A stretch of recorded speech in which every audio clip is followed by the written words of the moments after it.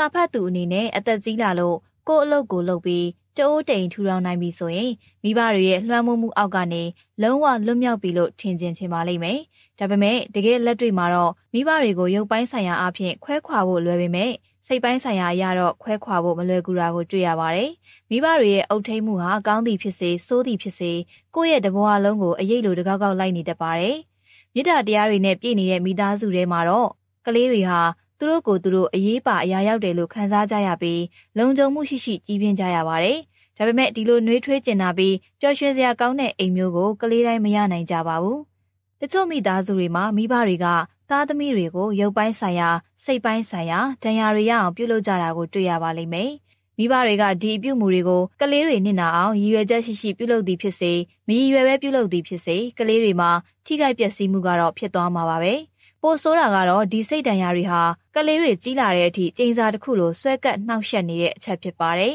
။ငါဘသူ့ကိုမှမယုံကြည်ဘူး။ငါကအချစ်ခံရဖို့မထိုက်တန်တဲ့လူပါ။ငါကဘသူ့အတွက်မှအရေးမပါဘူး။အဆရှိတဲ့စိတ်မချမ်းသာစရာစကားသံတွေကိုကိုယ့်ပတ်ဝန်းကျင်မှာမကြာခဏကြားဘူးကြပါလိမ့်မယ်။ဒီစကားတွေနဲ့ဒီအတွေးတွေဟာလူတွေရဲ့မသိစိတ်မှာအမြင့်တွယ်နေတဲ့ဆိုးရွားတဲ့မိသားစုဘဝအတွေ့အကြုံတွေကနေဆင်းသက်လာတာဖြစ်ပါတယ်။ဒီစာအုပ်မှာတော့စာရေးသူဆူဇန်ဖော်ဝတ်က သားသမီးတွေကိုစိတ်ဒဏ်ရာရစေတဲ့မိဘတွေကိုအစိတ်သင့်မိပါ toxic parents လို့သုံးနှုန်းထားပါတယ်။ဒီမိဘတွေဟာကလေးတွေရဲ့ဖြစ်တည်မှုနဲ့ကိုယ်ပိုင်စရိုက်လက္ခဏာတွေကိုလည်းအကြီးအကျယ်အစိတ်သင့်စေပါတယ်။တကယ်လို့မှန်ကန်တဲ့ဂျားဝင်ကုသမှုမျိုးမရှိခဲ့ဘူးဆိုရင်ဒီအစိတ်တောက်တွေကဘယ်တော့မှပြေပြောက်မှာမဟုတ်ပါဘူး။ကိုမိဘတွေဟာအစိတ်သင့်မိဘတွေလားအစိတ်သင့်မိဘတွေရဲ့ကျိန်စာကိုဘယ်လိုဖြေမလဲ။ အစိတ်တဲ့မိဘတွေရဲ့အရေးမဲတွေကနေအပြည့်အပြက်ဘလို့ယုံထွက်နိုင်မလဲအစရှိတဲ့မိကွန်းတွေကိုဒီစာအုပ်ထဲမှာအဖြေရှာနိုင်မှာဖြစ်ပါတယ်။ဒီစာအုပ်ရဲ့စာရေးဆရာမ Susan Forward ဟာအမေရိကန်လူမျိုးစိတ်ယောဂကုထုံးပညာရှင်ဖြစ်ပြီးနာမည်ကြီးစာရေးဆရာနဲ့ဟောပြောသူတစ်ယောက်လည်းဖြစ်ပါတယ်။သူမရေးသားခဲ့တဲ့စာအုပ်တွေထဲမှာ Obsessive Love, Men Who Hate Women and The Woman Who Loves Them နဲ့ Toxic Parents တို့လို New York Times ရဲ့ရောင်းအားအကောင်းဆုံးစာအုပ်တွေပါဝင်ပါတယ်။ Toxic Parents စာအုပ်ရဲ့အနှစ်ချုပ်မှတ်စုကိုတော့အောက်ပါအတိုင်းအခန်း၃ခန်းခွဲခြားဖော်ပြသွားမှာဖြစ်ပါတယ်။အခန်း၁ Toxic Parents အမျိုးအစားများအခန်း၂ Toxic Parents များကပြီးသောစိတ်ဒဏ်ရာအခန်း၃ Toxic Parents တို့၏ကျိန်စာကိုပယ်ဖျက်ခြင်းတို့ပဲဖြစ်ပါတယ်။အခန်း၁ Toxic Parents အမျိုးအစားများ Toxic Parents လို့ခေါ်တဲ့အစိတ်သင့်မိဘတွေအကြောင်းမပြောခင် လောကမှာ ၆ပြစ်ကင်းတဲလဲဆင်ပြီးပါဖတ်ဖြစ်တဲ့မိဘမျိုးမရှိနိုင်ဘူးဆိုတာကိုတော့ကြိုပြီးသတိပေးထားကြပါတယ်။မိဘတိုင်းဟာအားနည်းချက်တွေရှိတဲ့လူသားတွေဖြစ်တာကြောင့်ရန်ဖန်ရန်ခါတော့မမယရင်ပြုမှုလုပ်ကင်မိကြပါလိမ့်မယ်။မိဘတွေဘက်ကကလေးတွေရဲ့လူဝင်ဆန္ဒနဲ့လိုအပ်ချက်တွေကိုအချိန်တိုင်းဖြည့်ဆည်းပေးဖို့ဆိုတာလည်းမဖြစ်နိုင်ပါဘူး။ဒါကြောင့်ပြိပခါလေးနည်းနည်းဖြစ်ုံနဲ့ကိုမိဘတွေမကောင်းမှုလို့ချက်ချင်းကောက်ချက်မချလိုက်ပါနဲ့။ တကယ်အစိတ်သင့်စေတဲ့မိဘဟုတ်မဟုတ်ဆိုတာကိုဆုံးဖြတ်ဖို့အတွက်သူတို့ရဲ့အပြုအမူတွေကိုကာလရှည်ကြာစောင့်ကြည့်ဖို့လိုပါတယ်။ကလေးတွေကိုနှစ်ပေါင်းများစွာဖိနှိပ်ချုပ်ကျဲပြီးကြမ်းတမ်းတဲ့အပြုအမူတွေကိုအမြဲလိုလိုပြုလုပ်နေမှသာအစိတ်သင့်မိဘတွေလို့သတ်မှတ်ရမှာပါ။တူတူပြောရရင်တော့အစိတ်သင့်မိဘလို့သတ်မှတ်နိုင်ဖို့အတွက်မသင့်လျော်တဲ့အပြုအမူတွေကိုထက်ခါထက်ခါပြုလုပ်ခြင်းနဲ့ကာလရှည်ကြာပြုလုပ်ခြင်းဆိုတဲ့အချက်နှစ်ချက်နဲ့ပြည့်စုံရမယ်လို့ပြောရမှာဖြစ်ပါတယ်။စာရေးသူ forward ကသူမရဲ့လက်တွေ့လေ့လာမှုတွေကိုအခြေခံပြီး အစိတ်သင့်မိဘတွေကိုအောက်ပါအတိုင်းအမျိုးအစား6မျိုးခွဲခြားထားပါတယ်။အရေးချင်းမပြည့်မီသူ the inadequate parents ကြိုးကင်ချဲလေသူ the controllers အယက်သမား the alcoholics နှုတ်အားဖြင့်စောကားနှိပ်စက်သူ the verbal abusers ကိုယ်အားဖြင့်စောကားနှိပ်စက်သူ the physical abusers လိင်ပိုင်းဆိုင်ရာစောကားနှိပ်စက်သူ the sexual abuser တို့ပဲဖြစ်ပါတယ်။ ဒီ6မျိုးကိုအကျဉ်းချုံးလိုက်မယ်ဆိုရင်တော့လီလျူရှုသူ the neglectors ကြိုးကင်ချဲလေသူ the controllers နဲ့စော်ကားနှိပ်စက်သူ the abusers ဆိုပြီးအမျိုးအစား၃ခုပဲရရှိမှာဖြစ်ပါတယ်။ဒီတော့ပထမအမျိုးအစားဖြစ်တဲ့လစ်လျူရှုသူ the neglectors တွေရဲ့အကျင့်စရိုက်တွေကိုအရင်လေ့လာကြည့်အောင်ပါ။ neglectors တွေအမျိုးအစားထဲမှာတော့မိဘလုပ်ဖို့အရေးချင်းမပြည့်မီတဲ့ inadequate တွေနဲ့အမြဲတမ်းမူးယူးနေတဲ့ alcoholics မိဘတွေပါဝင်ပါတယ်။ ဒီမိဘတွေဟာသူတို့ပြဿနာနဲ့သူတို့ရှုပ်နေကြတာကြောင့်ကလေးတွေရဲ့စိတ်ခံစားချက်ကိုဂရုမစိုက်ကြသလိုတခါတလေမှာရုပ်ဝတ္ထုပိုင်းဆိုင်ရာလိုအပ်ချက်တွေကိုတောင်ဖြည့်ဆည်းပေးဖို့ပြက်ကွက်တတ်ကြပါသေးတယ်။သူတို့ဟာကိုယ့်အတ္တကိုပဲရှေ့တန်းတင်ကြတာကြောင့်ကလေးတွေဘလို့ခံစားသွားရမယ်ဆိုတာကိုလုံးဝထည့်မတွေးကြပါဘူး။ဥမာအပြင် forward စီမှာအကြံဉာဏ်လာတောင်းတဲ့ last လို့ခေါ်တဲ့အမျိုးသမီးရဲ့ငယ်ဘဝကိုလေ့လာကြည့်ပါ လက်ရဲ့မိခင်ဟာသူ့ဟာသူစိတ်ဓာတ်တွေကျဆင်းနေတာကြောင့်ရေချိုးဝတ်ယုံကြီးကိုဝေလက်တစ်ဖက်မှာကော်ဖီခွက်ကင်နောက်လက်တစ်ဖက်မှာ secret ကင်ပြီးတနေကုန်ဘသူနဲ့မှစကားမပြောဘဲ TV ထိုင်ကြည့်နေတတ်ပါတယ်။လက်ရဲ့ဖခင်ကတော့အလုပ်ကိစ္စနဲ့ခရီးမကြခဏထွက်လေရှိပြီးအိမ်ပြန်ရောက်ရင်လည်းအေကန်းထဲမှာပဲအိတ်လေးရှိပါတယ်။သူ့အဖေဟာမိမဖြစ်သူကိုဘာမှပြောချင်စိတ်မရှိတော့ဘဲလုံးဝလက်လျှော့ထားတဲ့ပုံပါပဲ။ဒါကြောင့်တအိမ်လုံးရဲ့အိမ်မှုကိစ္စအလုံးဟာအကြီးဆုံးကလေးဖြစ်တဲ့လက်ရဲ့ပခုံးပေါ်ကိုကြားရောက်လာခဲ့ပါတယ်။ လက်စာအသက်၈နှစ်အရွယ်မှာတင်မောင်နှစ်ယောက်ရဲ့မနက်စာနဲ့နေ့လယ်စာကိုပြင်ဆင်ပေးရပြီးကလေးတွေကိုကြောင်းကားပေါ်တင်ပေးရပါတယ်။ဒါရင်မကလက်စာသူမရဲ့မိခင်ဖြစ်သူကိုလည်းကြည့်ရှုစောင့်ရှောက်ရပါသေးတယ်။သူမရဲ့အဖေကအလုံးမသွားခင်မှာမိခင်ဖြစ်သူကိုဂရုစိုက်ဖို့နဲ့စိတ်ပျော်အောင်ထားဖို့မှားသွားလေရှိပါတယ်။လက်ဟာမိခင်ဖြစ်သူစိတ်ချမ်းသာပြီးပြုံးရည်လာအောင်အမျိုးစုံအစွမ်းကုန်လုပ်ပေးခဲ့ပေမဲ့အခြေအနေကတော့ထူးခြားမလာခဲ့ပါဘူး။ ဒီနေ့ထိလည်းလက်ဟာသူမရဲ့မိသားစုကိုအဆင်ပြေအောင်ပြုပြင်တိဆောက်မပေးနိုင်ခဲ့တဲ့အတွက်နောင်တရနေသေးပါပဲ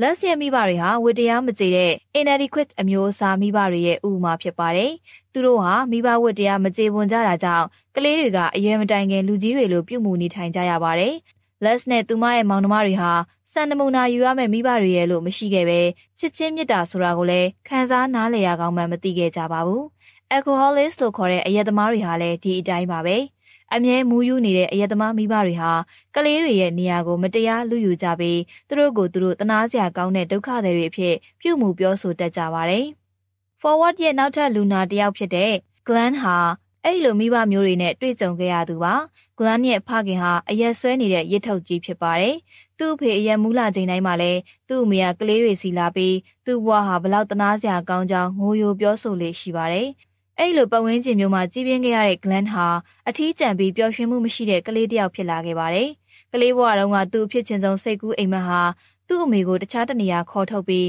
ကဲတင်နိုင်ဖို့ပါပဲ။သူဟာအခုချိန်ထိလည်းမိခင်ဖြစ်သူကိုဂရုတစိုက်စောင့်ရှောက်ပြီးပတ်စံပုံမှန်ပို့ပေးနေဆဲဖြစ်ပါတယ်။ Glenn ရဲ့အလုပ်မှာဝိုင်းလုပ်ပေးနေတဲ့သူ့အဖေကတော့အချိန်ပြည့်မူးယူနေဆဲဖြစ်ပြီးသူ့ကြောင့်ဖောက်တယ်တွေထွက်ပြေးကုန်တာမျိုးလည်းရှိပါတယ်။ သူ့အဖေကြောင့်အလုပ်တော်တော်များများကိုဆုံးရှုံးခဲ့ရပေမဲ့ဂလန်ဟာဖခင်ဖြစ်သူကိုအလုံးမဖြုတ်ရတဲ့အပြင်သူမိဘတွေကိုကောင်းကောင်းမထားနိုင်ခဲ့ဘူးလို့တောင်သူ့ကိုယ်သူအပြစ်တင်နေတတ်ပါသေးတယ်။တနေ့နေ့မှာပြိုကွဲနေတဲ့မိသားစုကိုပြန်လဲစူးစီးနိုင်လိမ့်မယ်လို့လည်းသူ့စိတ်ထဲမှာမျှော်လင့်နေသေးပါပဲ။အယက်သမားမိဘတွေရှိတဲ့မိသားစုတွေမှာမိသားစုဝင်တွေရဲ့အချိန်နဲ့စွမ်းအင်တွေအားလုံးဟာဒီအယက်သမားကိုထိမ့်ဖို့ကြိုးစားရင်းနဲ့ပဲကုံဆုံးသွားရတာကြောင့်ကလေးတွေကိုဂရုစိုက်နိုင်စွမ်းမရှိတော့ပါဘူး။ ဒါကြောင့်ဒီကလေးတွေဟာမိဘဝတ္တရားမကြေတဲ့ inadequate မိဘတွေရဲ့သားသမီးတွေလိုပဲလစ်လျူရှုခံရခြင်းနဲ့ချစ်ချင်းမြတ်တာမရရှိခြင်းတွေကိုခံစားကြရပါတယ်။အခုဆက်ပြီးအစိတ်တဲ့မိဘတွေတဲကဒုတိယအမျိုးအစားဖြစ်တဲ့ကျိုးကင်ချဲလဲသူ controllers တွေအကြောင်းဆက်လက်ဖော်ပြပေးသွားပါမယ်။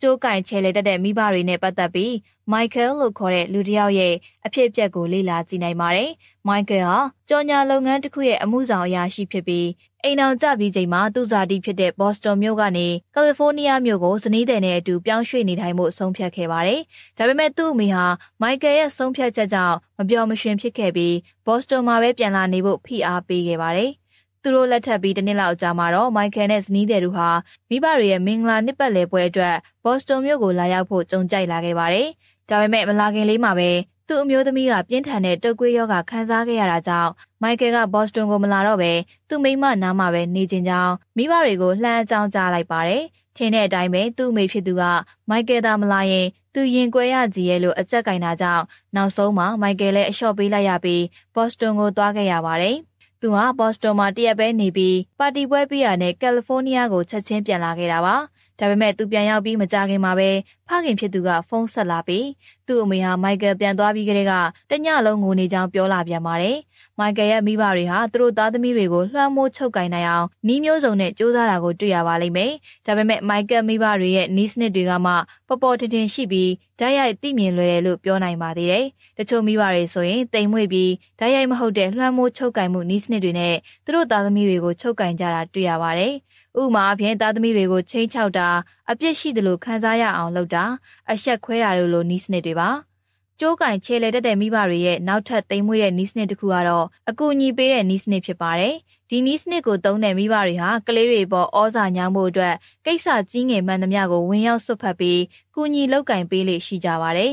ဒါနဲ့ပတ်သက်ပြီးလီလို့ခေါ်တဲ့မျိုးသမီးတယောက်ရဲ့အဖြစ်အပျက်ကိုလေ့လာကြည့်ပါလီဟာ အသက်32နှစ်ရှိပြီဖြစ်ပြီးနိုင်ငံတွင်းကလပ်တွေရဲ့တင်းနစ်ချန်ပီယံဖြစ်ပါတယ်။လီဟာအသက်30ကျော်နေပြီဖြစ်တယ်လို့ အောင်မြင်တဲ့ဘဝကိုလည်းပိုင်ဆိုင်ထားပေမဲ့သူမရဲ့မိခင်ဖြစ်သူကတော့သူမကိုကလေးတယောက်လိုပဲပြုမှုဆက်ဆံလေးရှိပါတယ်။လီရဲ့ဖခင်ဆုံးသွားပြီးတဲ့နောက်မှာမိခင်ဖြစ်သူရဲ့အခြေအနေဟာပိုဆိုးလာပြီးသူမကိုမျက်စိအောက်ကအပြောက်မခံတော့ပါဘူး။လီအိမ်ကနေခဏလောက်ထွက်သွားတာနဲ့သူ့အမေကစားစရာတွေတည်လာပြီးအိမ်တန်ရှင်းရေးလုပ်တာအဝတ်တွေနဲ့ပရိဘောဂတွေကိုနေရာပြန်ချတာတွေလာလုပ်ပေးလေးရှိပါတယ်။ဒါမျိုးတွေမလုပ်ပါနဲ့လို့လီကပြောပြန်တော့လဲအမေတယောက်ကသူ့ချစ်တဲ့သမီးကိုကူညီတာအပြစ်ရှိလားဆိုပြီးမျက်ရည်တွေကျလာတတ်ပါတယ်။ သူ့အမေကအဲ့လိုတုံ့ပြန်လာတာမျိုးကိုလီအနေနဲ့ဘလို့မှမခံစားနိုင်ပါဘူး။တကယ်တော့သားသမီးတွေကိုကြိုးကင်ချဲလဲခြင်းနဲ့ controllers တွေဟာတခြားမိဘအများစုလိုပဲ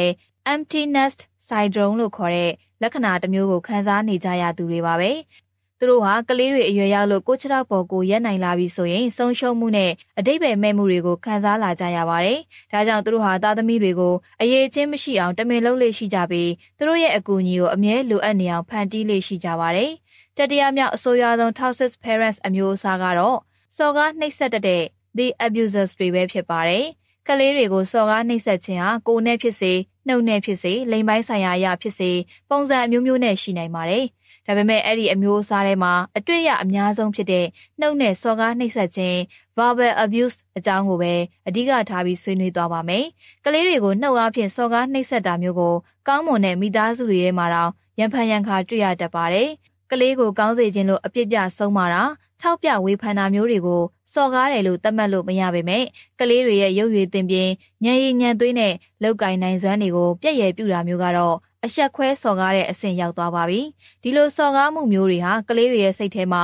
တော်တော်နဲ့မပြောက်နိုင်တဲ့ဒဏ်ရာဒဏ်ချက်တွေကိုဖြစ်ပေါ်စေနိုင်ပါတယ်။နှုတ်နဲ့စော်ကားခြင်း verbal abuse ကိုအဓိကအားဖြင့်ပုံစံနှမျိုးခွဲနိုင်ပါတယ်။ပထမတစ်မျိုးကတော့တိတာထင်ရှားတဲ့ဓာတ်ရိုက်စော်ကားမှုတွေပါ။ ဥပမာအဖြစ်ရုပ်ဆိုးတယ်၊ညံတုံးတယ်၊အတုံးမကျဘူးအစရှိတဲ့ပြင်းထန်တဲ့စကားတွေအပါအဝင်နင့်လိုကလေးမျိုးမွေးမလာသင့်ဘူးလို့ပြောတာမျိုးတွေအထိပေါ့ဒုတိယတစ်မျိုးကတော့နောက်တလူလိုပြောင်းတလူလိုနဲ့တွယ်ဝိုက်ပြီးတော့စော်ကားနှိမ်ချတာမျိုးပါမိဘတွေကသူတို့ရဲ့စော်ကားပုတ်ခတ်မှုတွေကိုရည်စရာအဖြစ်နဲ့ပြောတာပါဆိုပြီးဟန်ဆောင်ဖုံးလွှမ်းထားချိန်မှာကလေးတွေဘက်ကတော့စိတ်ရှုပ်ထွေးမှုကိုခံစားရတတ်ပါတယ်တကယ်လို့ဒီစကားတွေကိုကလေးတွေဘက်ကပြန်ထွန်းတက်ပြန်ရင်လဲပျော်ပျော်မနေတတ်ဘူး ဟာတညံမရှိဘူးလို့အပြောခံရအောင်ပါပါဥမာအပြင် feel လို့ခေါ်တဲ့အသက်40အရွယ်သွားဆရာဝန်တယောက်ဟာသူ့ဖေရဲ့စော်ကားတိုက်ခိုက်မှုတွေကိုနားထောင်ရင်းကြီးပြင်းခဲ့ရသူတယောက်ဖြစ်ပါတယ်။တမိသားစုလုံးကသူ့ကိုဝိုင်းလှောင်ကြချိန်တိုင်းမှာဖီးဟာအဆက်ခွဲခံရတယ်လို့ခံစားရပြီးအထီးကျန်မှုနဲ့ကြောက်ရွံ့မှုတွေကိုခံစားရလေရှိပါတယ်။သူ့အဖေက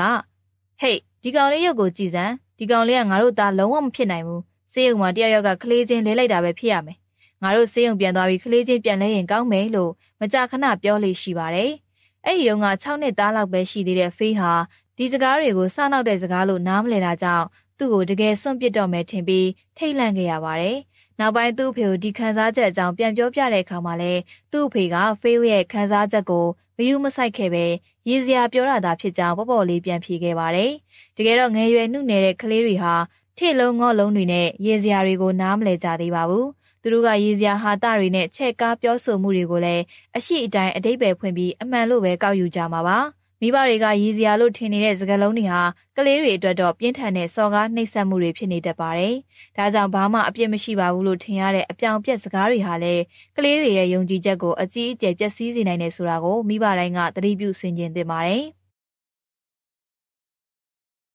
အခန်းနှစ် Toxic Parents များကပေးသောစိတ်ဒဏ်ရာ ကလေးဘဝမှာရခဲ့တဲ့စိတ်ဒဏ်ရာတွေဟာယာယီမဟုတ်ပါဘူး။ဒီဒဏ်ရာတွေဟာဆယ်ကျော်သက်နဲ့တက်ကြီးပိုင်းအရွယ်အထိပါကိုနောက်ကိုလိုက်လာနိုင်တဲ့ဒဏ်ရာတွေဖြစ်ကြပါတယ်။ forward စီရောက်လာတဲ့ client အနေနဲ့မှာကလေးဘဝတုန်းက toxic parents တွေနဲ့တွေ့ကြုံခဲ့ရတဲ့သူတိုင်းဟာကိုကိုကိုတန်ဖိုးထားလေးစားမှုမရှိတာကိုကိုကိုဖြက်လို့ဖြက်စီးလုပ်တာကိုကိုကိုအတုံးမကျဘူးလို့ထင်မြင်နေတာမျိုးတွေဖြစ်ပေါ်လေးရှိတာကိုတွေ့ရပါတယ်။ဒီလိုဖြစ်ရခြင်းဟာ toxic parents တွေကြောင့်အမြင့်တွေလာခဲ့တဲ့စိတ်ဒဏ်ရာတွေကြောင့်ပါပဲ။ Forward ရဲ့လေ့လာမှုတွေအရ Toxic Parents တွေဟာနီလန်၃မျိုးနဲ့သားသမီးတွေကိုစိတ်ဒဏ်ရာရရှိစေတယ်လို့သိရပါတယ်။ပထမနီလန်ကတော့အတ္တကြီးတဲ့ Toxic Parents တွေဟာသားသမီးတွေရဲ့ပင်ကိုယ်စရိုက်လက္ခဏာ identity တွေကိုပုံပြတ်ပန်းပြတ်ဖြစ်အောင်နှောက်ယှက်ဖျက်ဆီးလိုက်ခြင်းဖြစ်ပါတယ် ဒီအချက်ကလစ်လျူရှုတတ်တဲ့ negletus အမျိုးအစားမိဘတွေအတွက်ပိုပြီးမှန်ကန်ပါလိမ့်မယ်။ဒီမိဘတွေကသူတို့ကိုသူတို့ပဲဂရုစိုက်ပြီးသူတို့ပြဿနာပဲသူတို့ဖြေရှင်းနေကြတာကြောင့်ကလေးတွေဟာမိသားစုတာဝန်ကိုယူနိုင်ဖို့အတွက်သူတို့အသက်အရွယ်ထက်အများကြီးပိုပြီးရင့်ကြအောင်ကြိုးစားကြရပါတယ်။ဒါပေမဲ့ဘလို့ပဲဖြစ်ဖြစ်ကလေးဟာကလေးပါပဲကလေးတယောက်ဟာမိဘတွေလောက်ရမယ့်တာဝန်ဝတ္တရားအားလုံးကိုဆောင်ရွက်နိုင်စွမ်းရှိမှာမဟုတ်ပါဘူးဒီလိုမဆောင်ရွက်နိုင်တဲ့အခါကလေးတွေဟာသူတို့ကိုသူတို့အတုံးမကျဘူးဆိုပြီးအပြစ်တင်မိလာတတ်ပါတယ်။ နောင်တရမှုတွေနဲ့စိတ်အလိုမကျမှုတွေဖိစီးလာတဲ့အခါမှာတော့ဒီကလေးတွေရဲ့ကောင်းမွန်တဲ့ပင်ကိုယ်စရိုက်လက္ခဏာတွေဟာပြိုလဲပျက်စီးသွားပါတော့တယ်။ဥပမာအဖြစ်မယ်လနီလို့ခေါ်တဲ့အမျိုးသမီးတယောက်ကိုကြည့်ပါ။မယ်လနီရဲ့ဖခင်ဟာစိတ်အယမ်းဆက်ပြီးဘာမဟုတ်တဲ့ကိစ္စလေးတွေနဲ့လည်းစိတ်ထိခိုက်တတ်ပါတယ်။ကြောက်ရောက်ကသူ့ကားပတ်ကင်နေရာကိုဝင်ရက်သွားတာကလေးချင်းချင်းစကားများရန်ဖြစ်တာမျိုးတွေနဲ့ကြုံလိုက်ရပြီဆိုတာနဲ့သူမရဲ့ဖခင်ဟာအခန်းတကားကိုပိတ်ပြီးအိယာပေါ်မှာကလေးတယောက်လိုအော်ငိုနေလေးရှိပါတယ်။ အဲ့ဒီလိုအချိန်မျိုးတွေမှာမယ်လနီရဲ့မိခင်ကရေချိုးကန်ထဲမှာပဲအေးအေးဆေးဆေးထိုင်နေလေးရှိတာကြောင့်မယ်လနီဟာငိုနေတဲ့ဖခင်ကိုချော့မော့ဖြောင်းဖြနိုင်ဖို့တယောက်တည်းစူးစမ်းရပါတယ်။အရွယ်ရောက်လာတဲ့အခါမှာတော့မယ်လနီဟာအမျိုးသားအချို့နဲ့အတူနေခဲ့မှုပြီးအိမ်တော်နှစ်ဆက်ရှိခဲ့ပါတယ်။ဒါပေမဲ့သူတွဲလိုက်တဲ့အမျိုးသားတိုင်းဟာပြဿနာတွေနဲ့ပြည့်နှက်နေတဲ့အရှုပ်ထုတ်တွေကြီးပါပဲ။သူမရဲ့ပထမယောက်ျားကသူမအပေါ်တစ္ဆာဖောက်ပါတယ်။ဒုတိယယောက်ျားကလည်းအယက်သမားတစ်ယောက်ဖြစ်ပြီးတမိုင်းချောင်းတိတ်မကောင်းတဲ့လူပါ။ သူမရဲ့ရီးစားတစ်ယောက်ကသူမရဲ့ကားကိုယူပြီးထွက်ပြေးသွားခဲ့ဘူးသလိုနောက်တစ်ယောက်ကလည်းသူမရဲ့ကလေးတွေရှိမှကိုထိလက်ရောက်ရိုက်နှက်ခဲ့ဘူးပါတယ်။မယ်လနီဟာသူမမှာရှိသမျှအကုန်ပေးဆက်ပြီးဒီယောက်ျားတွေအားလုံးကိုပြုပြင်ပြောင်းလဲနိုင်အောင်ကြိုးစားခဲ့ပေမဲ့သူမငှက်မွတ်နေတဲ့ချစ်ချင်းမြတ်တာကိုတော့မရရှိခဲ့ပါဘူး။ဒါဆိုရင်မယ်လနီဟာဘာကြောင့်မကောင်းတဲ့လူတွေကိုကြီးပဲဇက်တိုက်ရွေးချယ်မိခဲ့တာလဲ။ forward ကတော့ Melanie ဟာသူ့ဖခင်ကြောင့်ရရှိခဲ့တဲ့ငယ်ဘဝစိတ်ဒဏ်ရာကြောင့်ဒီလိုပုံမှန်မဟုတ်တဲ့ယောက်ျားတွေကိုရွေးချယ်မိခဲ့တာဖြစ်တယ်လို့သုံးသပ်ထားပါတယ်။ Melanie ရဲ့အဖေဟာသူမဘဝမှာတွေ့ခဲ့ရတဲ့ပထမဆုံးယောက်ျားပါ။ကလေးဘဝမှာ Melanie ဟာသူမရဲ့အဖေကိုစိတ်သက်မကြအောင်အားမပေးနိုင်ခဲ့တဲ့အတွက်နောင်တရခဲ့မှုပါတယ်။ဒါကြောင့်အရွယ်ရောက်လာတဲ့အခါမှာလဲ Melanie ဟာပြဿနာရှာတတ်တဲ့ယောက်ျားတွေကိုကူညီကယ်တင်ခြင်းနဲ့စိတ်ဖြစ်ပေါ်နေရပါ။သူမရဲ့ဖခင်နေရာကိုအစားထိုးထားတဲ့ဒီလူတွေကိုဂရုစိုက်ပေးခြင်းအပြင် ငယ်ဘဝမှာပြက်ကွက်ခဲ့တယ်လို့ခံစားခဲ့ရမှုတွေကိုဖြည့်ဆွတ်နိုင်လိမ့်မယ်လို့သူမရဲ့မသိစိတ်ထဲမှာမျှော်လင့်နေခဲ့တာဖြစ်ပါတယ်။မယ်လနီဟာငငယ်လေးကလေးကသူမရဲ့စိတ်ခံစားချက်ထက်မိဘတွေရဲ့ခံစားချက်ကိုသာဦးစားပေးခဲ့သူပါ။မိဘတွေစိတ်ကြည်နေရင် သူမရဲ့အပြုတ်မှုတွေကိုမှန်ကန်တယ်လို့ယူဆခဲ့တယ်လို့မိဘတွေစိတ်ပြတ်နေချိန်မှာလဲသူမလောက်တာတခုခုမှားသွားပြီလို့ယုံကြည်နေခဲ့ပါတယ်။ဒါကြောင့်မယ်လနီမှာငငယ်လေးကလေးကသူမရဲ့ပင်ကိုယ်စရိုက်လက္ခဏာရဲ့လို့မရှိခဲ့တယ်လို့ကောင်းမွန်တဲ့မိသားစုနဲ့ချစ်ချင်းမြတ်တာတို့ရဲ့အတိတ်ပဲကိုလည်းနားမလည်နိုင်ခဲ့ခြင်းဖြစ်ပါတယ်။ Thousands parents တွေဟာသားသမီးတွေကိုစိတ်ဒဏ်ရာဖြစ်ပေါ်စေတဲ့ဒုတိယနီလန်ကတော့ကလေးတွေကိုမိခိုခြင်းစိတ်အားကြီးအောင်ပြုလုပ်ကြခြင်းဖြစ်ပါတယ်။ဒီအချက်ကတော့သားသမီးတွေကို ကြိုးကင်ချေလဲတတ်တဲ့ကွန်ထရိုလာအမျိုးအစားမိဘတွေနဲ့ပိုပြီးသက်ဆိုင်မှုရှိပါလိမ့်မယ်။ဒီမိဘတွေဟာသူတို့နဲ့သားသမီးတွေကြားကစီးပေါင်ကန့်သက်ချက်တွေကိုဝေဝါးသွားအောင်ပြုလုပ်လိုက်ပြီးအမိန့်ကိုတသွေမတိန်လိုက်နာအောင်ကြိုးကင်တတ်ကြပါတယ်။ဒီလိုမိဘမျိုးရဲ့လက်ထဲမှာကြီးပြင်းလာရသူတွေဟာလည်းပင်ကိုယ်စရိုက်လက္ခဏာတွေပျောက်ဆုံးပြီးရုပ်သေးရုပ်လေးတွေလိုမိဘအလိုကျပြုမှုနေထိုင်နေကြတာကိုတွေ့ရပါလိမ့်မယ်။ဥပမာအဖြစ်တငယ်ချင်းတွေနဲ့ခရီးတစ်ခုခုသွားမယ်ကြံတိုင်းမိဘတွေခွင့်ပြုပါမလားလို့စိတ်ပူနေရတာမျိုး ကိုဝါသနာပါတဲ့လိုင်းကိုရွေးပြီးတက်ကတူတက်မယ်လို့ကြံပြီးကမှမိဘတွေဆုံးဖြတ်တဲ့လိုင်းကိုပြောင်းတက်လိုက်ရတာမျိုးတွေပေါ့အဲ့ဒီလိုမျက်စိစုံမိပြီးအမိတ်နာခံခဲ့ရတဲ့ကလေးတွေဟာ အသက်ကြီးလာတဲ့အခါတခြားလူတယောက်ယောက်ကိုမမိခိုပဲမရက်တည်နိုင်ကြတော့ပါဘူးဒီလူတွေဟာတခြားလူတွေရဲ့အတိအမှတ်ပြုမှုကိုရရှိမှသာစိတ်လုံခြုံမှုနဲ့အရေးပါအရာရောက်မှုတွေကိုခံစားရလေရှိပါတယ်သူတို့ဟာကလေးဘဝတုန်းကမိဘတွေဆရာဆရာမတွေနဲ့တခြားလူကြီးတွေကိုမှီခိုခဲ့ကြသလိုအရွယ်ရောက်လာတဲ့အခါမှာလည်းအလုရှင်တွေမိတ်ဆွေတငယ်ချင်းတွေနဲ့ချစ်သူရည်စားတွေကိုအလွန်အကျွံမှီခိုပြီးသူတို့ရဲ့တန်ဖိုးရှိမှုကိုသက်သေပြနိုင်ဖို့ကြိုးစားတတ်ကြပါတယ်ဥပမာအဖြစ် forward ရဲ့ client တယောက်ဖြစ်တဲ့ Kim ဆိုတဲ့အမျိုးသမီးကိုကြည့်ပါ Kim ရဲ့ဖခင်ဟာသမီးဖြစ်သူကိုအရန်ချုပ်ချယ်တတ်သူဖြစ်ပြီး Kim ကလည်းသူမရဲ့ဖခင်ကိုလေးစားယုံကြည်သူဖြစ်ပါတယ်ဒါပေမဲ့ဆယ်ကျော်သက်အရွယ်လောက်မှာတော့ Kim ကလည်းသူမရဲ့ကိုပိုင်အတွေးခေါ်နဲ့ထင်မြင်ယူဆချက်လေးတွေစတင်ပေါ်ပေါက်လာပါပြီ။အဲ့ဒီအချိန်မှာကင်ရဲ့ဖခင်ကပတ်စံကိုတုံးပြီးသူမကိုကြိုးကင်ချဲလဲဖို့ကြိုးစားပါတော့တယ်။ကင်ဟာပတ်စံရဖို့အတွက်ဖခင်ဖြစ်သူရဲ့စကားကိုမြေဝဲမကျနားထောင်ခဲ့ရပါတယ်။ နောက်ပိုင်းကင်အိမ်အောင်ကြပြီးရတော့မှသူမနဲ့သူမခင်မွန်းတဲ့တို့လိုအပ်သမျှအရာအလုံးကိုဖခင်ဖြစ်သူကထောက်ပံ့ပေးနေသေးပါပဲ။ဒါပေမဲ့အပြန်အလှန်အနေနဲ့သူတို့လင်မယားနှစ်ယောက်လုံးဟာတိုက်ခန်းဝယ်တာကစလို့ကလေးသေးတယ်တာကအစုံသူတို့အဖေပြောတဲ့အတိုင်းလိုက်လုပ်ကြရပါတယ်။ဒီလိုထိန်းချုပ်ကြိုးကင်မှုတွေဟာကင်ရဲ့ကိုယ်ပိုင်စရိုက်လက္ခဏာတွေကိုထိခိုက်ပျက်စီးသွားစေခဲ့တယ်လို့ပြောရပါလိမ့်မယ်။ Forward နဲ့တိုင်ပင်ဆွေးနွေးချိန်မှာ ကင်ကသူမဘဝမှာယောက်ျားတယောက်ယောက်မရှိဘဲနဲ့မရက်တည်နိုင်တော့ဘူးလို့ဝန်ခံသွားခဲ့တာကိုတွေ့ရပါတယ်။ယောက်ျားတယောက်ယောက်ကဘေးနားကနေအားပေးနေမှသာကင်ရဲ့စိတ်ထဲမှာတတောင့်တတရှိပါတယ်။ဒါကြောင့်လဲကင်ဟာယောက်ျားဖြစ်သူကိုတိတ်မချစ်ပေမဲ့သူမရဲ့ဘေးမှာယောက်ျားတယောက်ရှိနေတာကိုပဲကျေနပ်နေခဲ့တာဖြစ်ပါတယ်။နောက်ပိုင်းသူ့ယောက်ျားနဲ့ကွာရှင်းခဲ့ရချိန်မှာတော့ကင်ဟာအရန်ကိုခြောက်ခြားတုံလုပ်ခဲ့ရပြီးငါဆိုတာမရှိတော့ဘူးလို့တောင်ခံစားခဲ့ရတယ်လို့ဆိုပါတယ်။ Toxic parents တွေကသားသမီးတွေကိုစိတ်တန်ရာဖြစ်ပေါ်စေတဲ့တတိယနီလန်းကတော့ကလေးတွေရဲ့စိတ်လုံခြုံမှုကိုလှိုက်စားဖျက်ဆီးပစ်လိုက်ခြင်းဖြစ်ပါတယ်။မိဘနဲ့သားသမီးကြားဆက်ဆံရေးဟာဘဝတစ်လျှောက်ကြုံတွေ့ရမယ့်နောက်ထပ်နောက်ထပ်ပေါင်းသင်းဆက်ဆံရေးအလုံးအတွက်အခြေခံအုတ်မြစ်ဖြစ်ပါတယ်။တကယ်လို့ကိုယ့်ရဲ့မိသားစုမှာစိုးပြေနှွေးထွေးတဲ့ဆက်ဆံရေးရှိမယ်ဆိုရင်စိတ်လုံခြုံမှုရှိရှိနဲ့ကြည်ပြင်းလာရမှာဖြစ်ပြီးတခြားလူတွေကိုလည်းယုံကြည်တက်လာပါလိမ့်မယ်။မိဘတွေရဲ့စော်ကားမှုနဲ့ဖိနှိပ်ကြိုးကင်မှုတွေကိုခံစားခဲ့ရမယ်ဆိုရင်တော့ ကိုကိုကိုလည်းစိတ်မလုံးသလိုတခြားလူတွေနဲ့လည်းယုံကြည်မှုတိစောက်ဖို့မလွယ်ကူတော့ပါဘူး။ဒါနဲ့ပတ်သက်ပြီးဂျိုးလို့ခေါ်တဲ့လူတစ်ယောက်ကသူ့ရဲ့ငယ်ဘဝအကြောင်း forward ကိုရင်ဖွင့်ခဲ့ပူပါတယ်။ဂျိုးရဲ့အဖေဟာဒေါသကြီးသူတစ်ယောက်ဖြစ်ပြီးအကြောင်းမဲ့တက်တက်ရိုက်နှက်တတ်သူဖြစ်တာကြောင့်ဂျိုးဟာအကြောက်တရားနဲ့ကြီးပြင်းခဲ့ရပါတယ်။ဒီအတွေ့အကြုံကသူ့ရဲ့ရုပ်ပိုင်းဆိုင်ရာကိုရောစိတ်ပိုင်းဆိုင်ရာကိုပါကြောက်ရွံ့ထိတ်လန့်စေခဲ့ပြီး ဘသူ့ကိုမှမယုံကြည်တဲ့လူတစ်ယောက်ဖြစ်လာစေခဲ့ပါတယ်။ဂျိုးရဲ့ကြောက်စိတ်ဟာအရွယ်ရောက်လို့အိမ်ထောင်ကြပြီးတဲ့အထိဆွဲမြဲနေသေးပါပဲ။ဂျိုးဟာပေါင်းတင်ဆက်ဆံရေးတိုင်းအတွက်အစိုးဆုံးအခြေအနေကိုသာကြိုတင်ပြင်ဆင်ထားလိမ့်ရှိပြီးဘသူ့ကိုမှအနီးကပ်မဆက်ဆံတတ်တဲ့လူတစ်ယောက်ဖြစ်လာခဲ့တာကိုတွေ့ရပါတယ်။ခုဆိုရင်တော့ toxic parents လို့ခေါ်တဲ့အစိတ်တင်မိဘတွေကသားသမီးတွေကို စိတ်တန်ရာရအောင်ဘလို့နီးလန်းတွေနဲ့ပြုလုပ်ကြသလဲဆိုတာကိုဖော်ပြခဲ့ပြီးပါပြီ။အဲ့ဒီစိတ်တန်ရာနဲ့အစိတ်အတောက်တွေကိုဘလို့ပြန်လဲကုစားရမလဲဆိုတာကိုတော့နောက်လာမယ့်အခန်းမှာဆက်လက်ဖော်ပြသွားမှာဖြစ်ပါတယ်။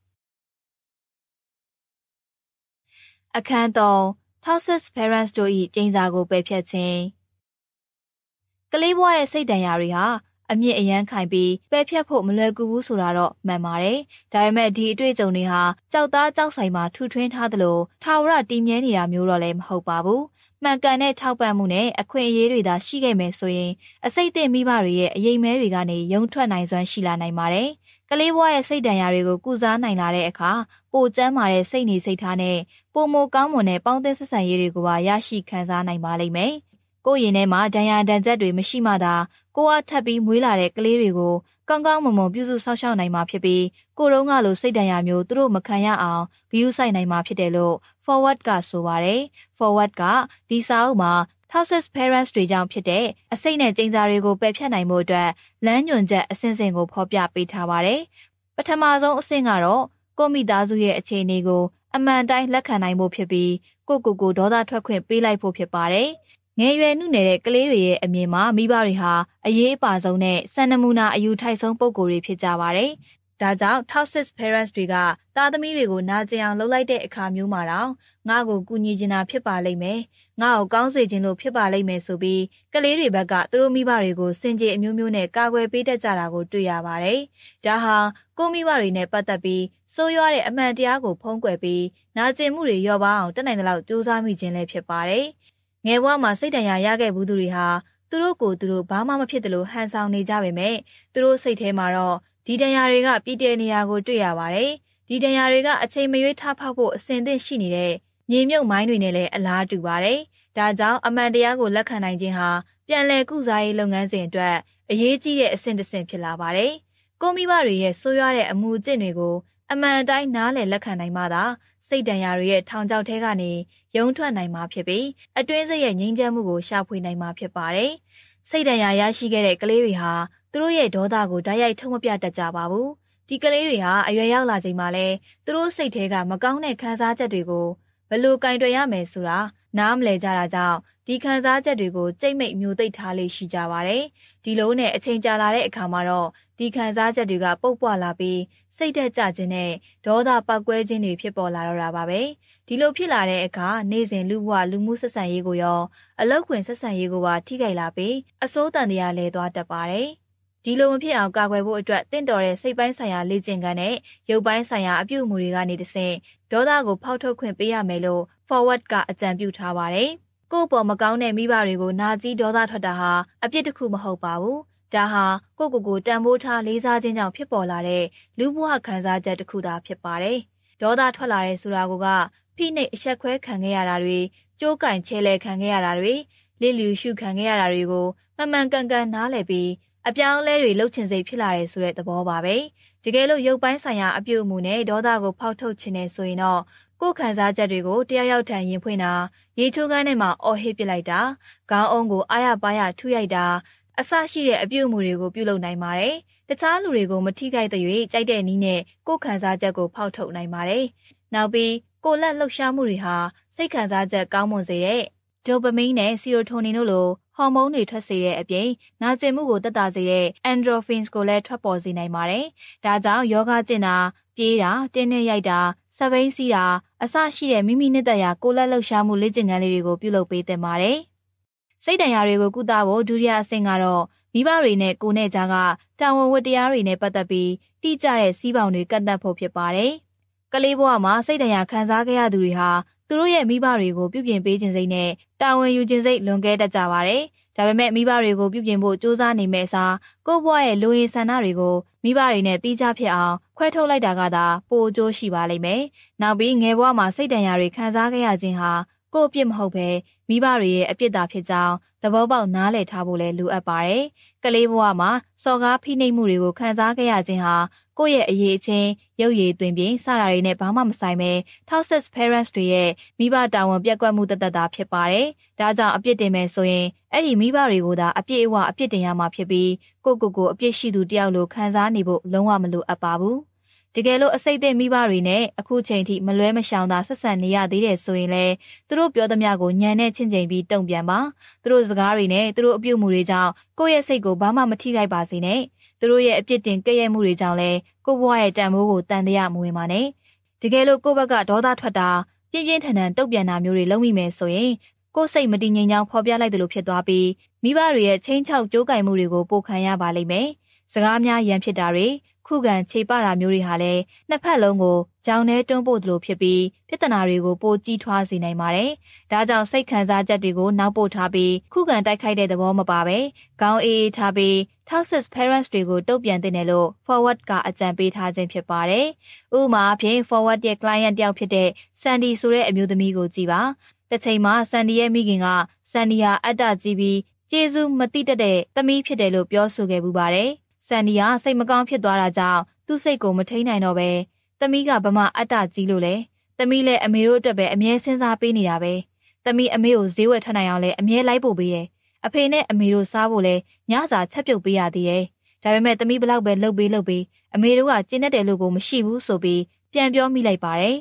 ဆန်နီဟာသူ့အမေရဲ့ဆွဆွဲပြစ်တင်မှုကိုခုခံကာကွယ်မိခဲ့တာကြောင့်ပြဿနာကပိုကြီးသွားပြီးစကကြောတွေရှေကုန်တာကိုတွေ့ရပါတယ်တ ကယ်လို့ forward သာစန်နီရဲ့နေရာမှာဆိုရင်အမေဒီလိုခံစားရလို့သမီးစိတ်မကောင်းပါဘူးလို့ဒေါသမပါပဲတုံ့ပြန်လိုက်မှာပါဒီလိုတုံ့ပြန်လိုက်ခြင်းအပြင်တင်းမာမှုတွေကိုလျှော့ချစေပြီးပြဿနာကလည်းတဖြည်းဖြည်းပြီးဆုံးသွားပါလိမ့်မယ်နောက်ထပ်ဒေါသမပါပဲတုံ့ပြန်နိုင်မဲ့စကလုံးတွေကတော့အိုးဟုတ်လားဒါစိတ်ဝင်စားစရာပဲသမီးပြန်စဉ်းစားလိုက်ပါဦးမယ်အမေနာကျင်ရတာကိုသမီးလည်းစိတ်မကောင်းပါဘူးအမေရဲ့ထင်မြင်ချက်ကိုပြောဆိုခွင့်ရှိပါတယ်အစားရှိတဲ့စကလုံးတွေဖြစ်ပါတယ် စိတ်တရားတွေကိုကုသဖို့နောက်ဆုံးအဆင့်ကတော့ကြောက်စိတ်ကိုကြော်လာပြီး toxic parents တွေကိုရင်ဆိုင်ဖို့ပါပဲ toxic parents တွေကိုတည်တည်ငြိမ်ငြိမ်နဲ့ရင်ဆိုင်နိုင်ဖို့ကတော့လွယ်တဲ့အလုပ်မဟုတ်ပါဘူးဒီလိုရင်ဆိုင်နိုင်ဖို့အတွက်အချိန်တွေအများကြီးယူဖို့လိုသလိုတက်တီလည်းမွေးဖို့လိုပါလိမ့်မယ် forward ကတော့ toxic parents တွေနဲ့ညနေချင်းဆိုင်ရင်မဆိုင်ခြင်းမှုဆိုရင်ကိုပြောချင်တာတွေကိုစာနဲ့ရေးပြီးပြောဖို့အကြံပေးထားပါတယ်စာရေးတဲ့အခါမိဘနှစ်ပါးလုံးအတွက်စာတစ်စောင်စီတီးတန့်ခွဲရရမှာဖြစ်ပြီးကိုယ်စိတ်ဒဏ်ရာအပေးဆုံးဖြစ်တဲ့မိဘအတွက်စာရေးသင့်ပါတယ်။စာကိုအစချီတဲ့အခါမှာလည်းအဖေအမေတို့ကိုအရင်ကတခါမှမပြောခဲ့ဘူးတဲ့စကားတွေပြောပြချင်ပါတယ်ဆိုပြီးအစချီသင့်ပါတယ်။ပြီးရင်တော့အောက်ပါအချက်လေးတွေကိုခြုံငုံမိအောင်ရေးသားရမှာဖြစ်ပါတယ်။၁မိဘတွေကကိုယ်ကိုဘာလုပ်ခဲ့တယ်လဲ။၂အဲ့ဒီလုပ်ရကြောင်းကလေးဘဝမှာကိုယ်ဘယ်လိုခံစားခဲ့ရတယ်လဲ။၃အဲ့ဒီခံစားချက်တွေကလူကြီးဘဝအထိဘလို့တက်ရောက်မှုရှိနေတယ်လဲလေ ကိုကမိဘတွေထံကနေဘာမျောလိမ့်တယ်လဲဆိုတာတွေပဲဖြစ်ပါတယ်ဒီနေရာမှာသတိထားရမှာကတော့ဒီအချက်တွေကိုဖုန်းနဲ့လှမ်းမပြောဖို့ပါပဲဘာလို့လဲဆိုတော့ဖုန်းနဲ့လှမ်းပြောတဲ့အခါတစ်ဖက်ကစိတ်ဆိုးမှန်ဆိုးနဲ့ဖုန်းချသွားနိုင်ခြေရှိလို့ဖြစ်ပါတယ်မျက်နှာချင်းဆိုင်စကားပြောဖို့အဆင်သင့်ဖြစ်တဲ့လူတွေကလည်း Toxic Parents တွေရဲ့တုံ့ပြန်မှုကိုချက်ချင်းခံရမှာဖြစ်တာကြောင့်တေချာပြင်ဆင်သွားဖို့လိုပါတယ်။တစ်ဖက်ကဒေါသတကြီးနဲ့အော်ဟစ်ပြောဆိုလာချိန်မှာတော့ကိုပြောမဲ့အကြောင်းအရာတွေမေ့လျော့မသွားအောင်ဂယုတစိုက်ပြင်ဆင်သွားပါ။ Toxic Parents အများစုဟာသားသမီးတွေကိုကောင်းကောင်းမွန်မွန်မတုံ့ပြန်တတ်ကြတာကြောင့်အဆိုးရွားဆုံးတုံ့ပြန်မှုတွေကိုလည်းကြိုတင်ခန့်မှန်းထားရမှာဖြစ်ပါတယ်။ဒါပေမဲ့သူတို့ဘက်ကဘယ်လိုပဲတုံ့ပြန်သည်ဖြစ်စေကိုပြောချင်တာကိုတည်တည်ငြိမ်ငြိမ်နဲ့ရှင်းပြပြောဆိုနိုင်ရပါမယ်။တကယ်လို့မျက်နှာချင်းဆိုင်တွေ့ပြီးအဆင်မပြေခဲ့ဘူးဆိုရင်လည်းစာရေးပြီးထပ်ကြိုးစားကြည့်လို့ရပါသေးတယ်။ဒီလိုထိတ်တက်ရင်ဆိုင်ပြီးပြဿနာဖြေရှင်းတဲ့အခါဖြစ်လာနိုင်တဲ့ရလဒ်ကတော့၃မျိုးရှိပါတယ်။ပထမဖြစ်နိုင်ခြေကတော့ ကိုယ့်ရဲ့နာကျင်မှုတွေကိုမိဘတွေဘက်ကအတိုင်းအတာတစ်ခုထိစာနာနားလည်ပြီးသူတို့အမားကိုဝန်ခံခြင်းဖြစ်ပါတယ်။ဒါကတော့အကောင်းဆုံးဖြစ်လာနိုင်တဲ့ရလဒ်ပါ။ဒီလိုနားလည်မှုရပြီးရင်သူ့စီးကိုစီတေချာပိုင်းခြားပြီးအရင်ကထပ်ပိုကောင်းတဲ့ဆက်ဆံရေးကိုတိစောက်နိုင်အောင်ကြိုးစားရမှာဖြစ်ပါတယ်။ဒုတိယဖြစ်နိုင်ကြီးကတော့မိဘတွေကကိုပြောတာကိုနားထောင်ပေးကြပေမဲ့သူတို့အပြုတ်မှုတွေကိုဘာမှအပြောင်းလဲမပြုလုပ်ကြခြင်းဖြစ်ပါတယ်။ဒီလိုဆိုရင်တော့ကိုယ့်ဘက်ကလည်းပုံမှန်အတိုင်းသူတို့နဲ့စိတ်ပေါင်းကိုခွာဆက်ဆံရုံပါပဲ။ တတိယဖြစ်နိုင်ကြီးကတော့မိဘတွေကကိုယ်စကားကိုပြင်းပြင်းထန်ထန်ကြမ်းကြမ်းတမ်းတမ်းပြန်လည်တုံ့ပြန်ခြင်းဖြစ်ပါတယ်။ controller နဲ့ abusive အမျိုးအစားမိဘတွေဆိုရင်တော့ဒီထက်တောင်ပိုဆိုးနိုင်ပါသေးတယ်။ဒီလိုအခြေအနေမျိုးမှာတော့ကိုယ့်ဘက်ကသူတို့နဲ့အဆက်အသွယ်လုံးဝဖြတ်တောက်ဖို့စဉ်းစားရတော့မှာဖြစ်ပါတယ်။ကိုကိုမွေးတဲ့မိဘတွေနဲ့အဆက်အသွယ်ဖြတ်ဖို့ဆိုတာကတော့တော်တော်မလွယ်တဲ့ဆုံးဖြတ်ချက်တစ်ခုပါ forward ကတော့အဲ့ဒီလိုအဆက်အသွယ်ဖြတ်တဲ့အခါမှာအရင်ဆုံးကာလအပိုင်းအခြားလေးတွေသတ်မှတ်ပြီး အဆက်အသွယ်ဖြတ်ဖို့အကြံပေးထားပါတယ်။ဥပမာအဖြစ်မိဘတွေနဲ့3လလောက်အဆက်အသွယ်မလုပ်ဘဲနေကြည့်တာမျိုးပါ။ဒီလိုယာယီအဆက်အသွယ်ဖြတ်လိုက်ခြင်းအပြင်သားသမီးဘက်မှာရောမိဘတွေဘက်မှာပါအသက်ရှူခြင်းရသွားပြီးစိတ်တည်ငြိမ်သွားစေနိုင်ပါတယ်။ဒီကာလပြည့်လို့ပြန်ဆက်သွယ်ကြည့်ရဲ့အခါအရင်ကနဲ့မတူတော့ပဲအခြေအနေတိုးတက်လာတယ်ဆိုရင်တော့အခင်းမင်းမပြတ်ပြန်လဲဆက်ဆံလို့ရပါပြီ။တကယ်လို့တတ်မှတ်ကာလပြည့်တဲ့အထိမိဘတွေရဲ့အချိုးကမပြောင်းလဲဘူးဆိုရင်လည်းနောက်ထပ်တတ်မှတ်ကာလတစ်ခုတတ်မှတ်ပြီးအဆက်အသွယ်ဖြတ်နိုင်ပါတယ်။ တကယ်လို့ဘလို့မှမျှော်လင့်ချက်မရှိတော့ဘူးလို့ယူဆရင်တော့မိဘတွေနဲ့ရာသက်ပံအဆက်အသွယ်ဖြတ်ဖို့ကြိုးစားရတော့မှာဖြစ်ပါတယ်။ဒီအဆင့်ကတော့အခက်ခဲဆုံးဖြစ်တာကြောင့်ကိုယ်ကိုစာနာနားလည်ပေးနိုင်မဲ့အကြံပေးတယောက်ယောက်နဲ့တိုင်ပင်ပြီးလှုပ်ဆောင်ဖို့လိုအပ်ပါတယ်။ပြောင်းလဲလို့မရနိုင်တဲ့မိဘတွေကိုအတင်းပြောင်းလဲဖို့မကြိုးစားပါနဲ့။တချို့ကစားပွဲတွေဟာဝင်မကစားတော့မှသာအနိုင်ရနိုင်တဲ့ကစားပွဲတွေဖြစ်ပါတယ်။ဒါကြောင့်ကိုမပြုတ်ရင်နိုင်တဲ့အရာတွေကိုလွတ်ချလိုက်ပြီး ကိုကိုကိုယုံကြည်မှုရှိရှိနဲ့စစ်မှန်တဲ့ချစ်ချင်းတရားတွေကိုရှာဖွေပါလို့စာရေးသူ forward ကအကြံပြုတိုက်တွန်းထားပါတယ်။